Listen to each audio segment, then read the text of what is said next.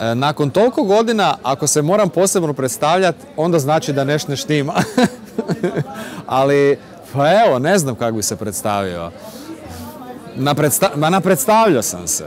Pjesme predstavljaju i to mi je drago. Nek pjesma predstavlja. Na Eurosongu. Pa zapravo, zapravo e, mogu se predstaviti kao e, Socialozersen, jer predispozicije fizičke ovu žutoću imam, e, tako da za Švedsku sam spreman. Ali naravno da kao glazbeniku koji sam već ono dugo na sceni, je i poanta da ti ideš na Doru s dobrom pjesmom. Jer ako je dobra pjesma, ona neće biti ono topovsko meso za jednu noć koju neće niko ono primijetiti ili neće se istaknuti, nego, nego će ju ljudi doživjeti, ostaviti ju na svojim playlistama i dalje. I to je poanta meni, da ta pjesma se i dalje svira i da ona i pobjedi, ne pobjedi, da, da ostane ljudima, da ostane kao neki značajan moj doprinos diskografiji i da ljudi nju vole na kraju krajeva. Niko od mojih kolega koji idu e, na Doru nisu došli na Doru samo zato da bi se natjecali ili samo zato da bi promovirali. Sumnjam.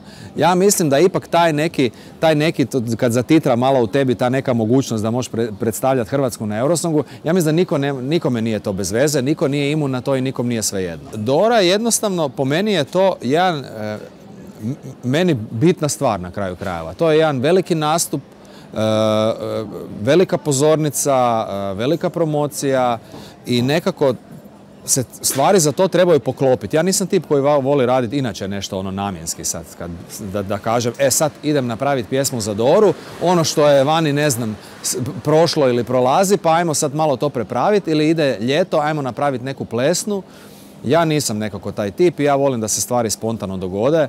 Valjda je toliko godina trebalo da se dogodi neki moment da u tom trenu je pjesma tu i da, i da ja poželim da što više ljudi tu pjesmu čuje i da nekako ono vjerujem u nju jer na kraju krajeva Eurosong je jedna, jedan miks svega i svačega i ti, meni je i to ljepota Eurosonga da ti nikad ne znaš kad će nešto prevagnuti, pomaknuti u kojem trenu i postati ljudima wow. To znači nema pravila kod Eurosonga.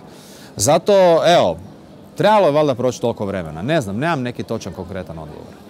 Naravno da mi je važna estetika, važan je cijeli paket koji ti imaš e, kao glazbeniku. Meni je bitno da ako imamo odličnu, odličnog producenta, autora, da, da, da, da spot prati to, da, podrži, da nije da sroza.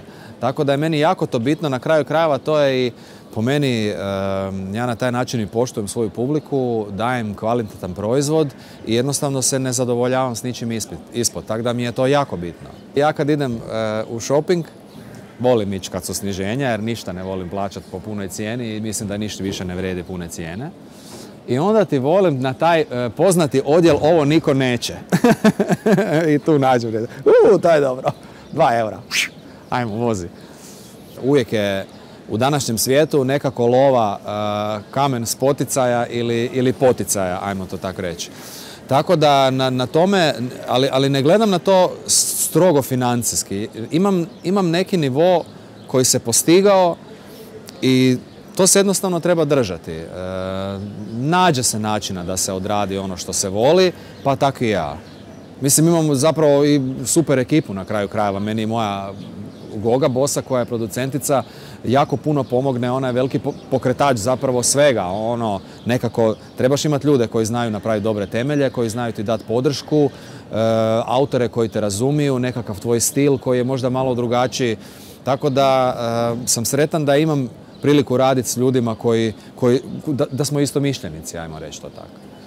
Pa gle, ja, e, ja sam došao tebi na intervju jer sam kao odlučio da neću muljati, neću biti ovoga kao diplomata.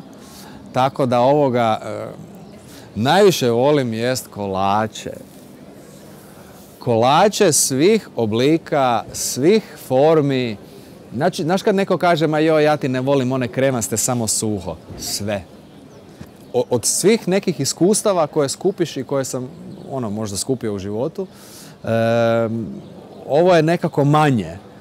E, tako da bit će sigurno interesantno jer moraš ono bezgrešno odraditi te svoje tri minute, nema ono ko na koncertu pa naš na početku je malo labavo dok se svi ne opuste, dok ne ispipaš teren i onda poslije. A tu mora biti ono ili ili.